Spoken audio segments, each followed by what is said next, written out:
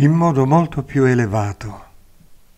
È già passato un mese dall'ultima volta che ci siamo visti ed io non t'ho pensato. Se così dicessi ti mentirei ed io non so mentire nemmeno per iscritto.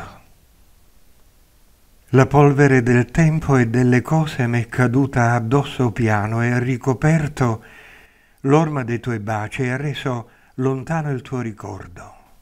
Io credo che quei fiori rossi che ti donai siano appassiti sul tavolo in salotto e certamente li avrai gettati.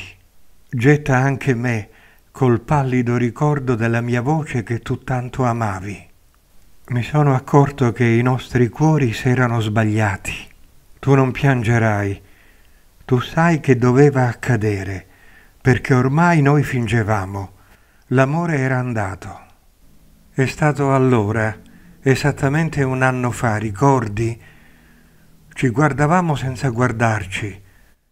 Era un segno che era impossibile continuare. Risparmiami un incontro. Sarebbe inutile.